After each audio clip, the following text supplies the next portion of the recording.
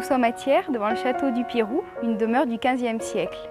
Ensemble, nous allons découvrir une collection particulière de meubles, d'objets et de peintures.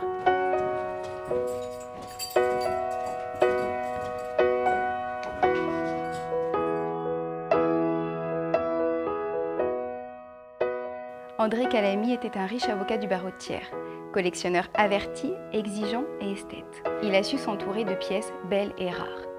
Ce fauteuil était son fauteuil de bureau.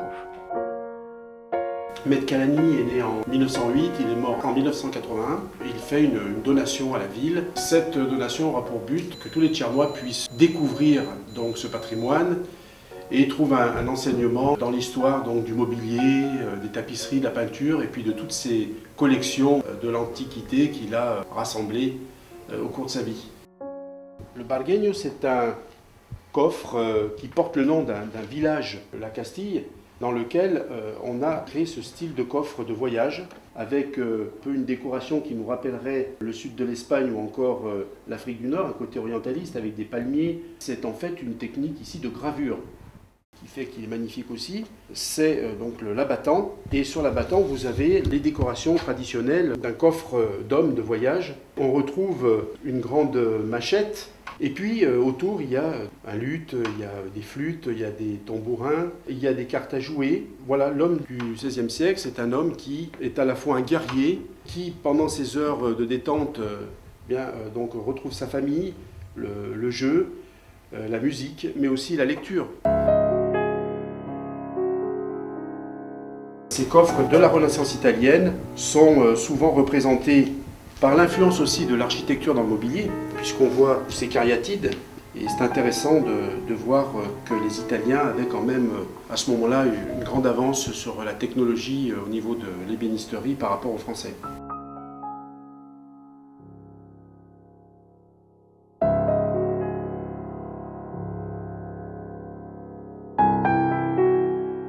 Alors cet objet euh, qui est placé sur ce coffre, c'est un cartel très rustique, euh, de facture régionale, mais c'est ce qui lui donne euh, sa touche. Et puis ce travail donc des guirlandes hein, qui, qui rappelle bien l'époque baroque, avec cette rose, le cadran lui-même en un, et derrière donc le balancier, vous avez une scène de chasse, donc on voit des, cerfs en train de, sauter. Là, on a un, bel exemple donc d'une desserte. Et euh, cette desserte eh va pouvoir contenir les objets euh, importants de la table, puisque c'est au XVIe siècle qu'apparaît donc euh, la salle da mangiare, comme on dit en italien, alors qu'avant on faisait tout dans une même pièce, on y dormait, on y recevait et on y mangeait.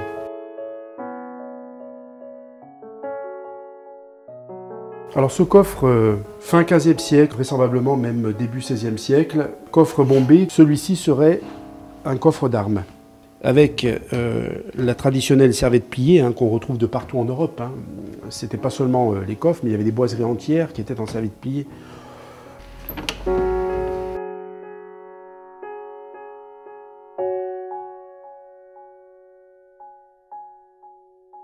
Cette vitrine comporte quatre albâtres magnifiques. C'est un grand engouement euh, qui nous vient de l'Angleterre. Ce sont les premiers qui ont véritablement utilisé cette pierre.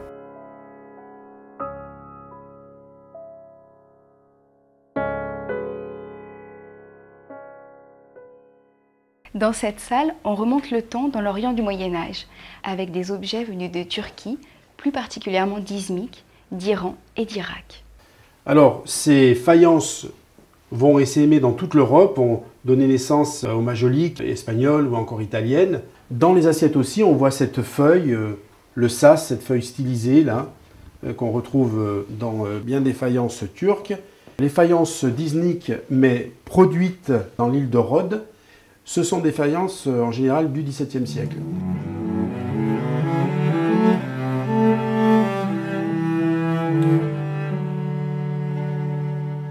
Ce sont donc trois plats euh, iraniens, magnifiques, hein, du XIe siècle. Donc des poteries, et là, euh, les Iraniens ne sont pas privés donc, de représenter euh, des oiseaux huppés, hein, puisque ça fait partie euh, des éléments de décoration de l'ensemble des poteries de l'époque ou encore des enluminures, puisque dans la culture euh, chiite, on peut représenter à la fois des êtres humains ou des animaux. C'est très belle guerre, là, rappelle tout à fait les, couleurs de l'Iran, avec des lions en frise comme ça tout autour de la poterie.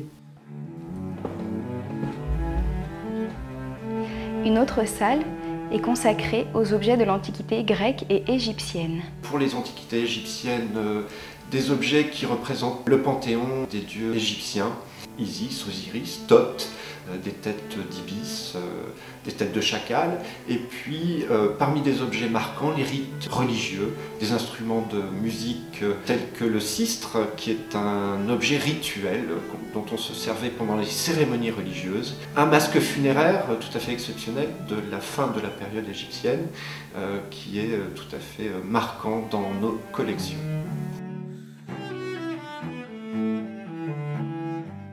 Dans les objets de la Grèce antique, il y a des cratères, des lécites qui sont dédiés au service du vin et euh, d'autres objets comme des pixies qui sont plus délicats, c'est pour euh, les onguents et les parfums. Vous pouvez visiter cette collection en réservant auprès de l'Office de tourisme de tiers communauté.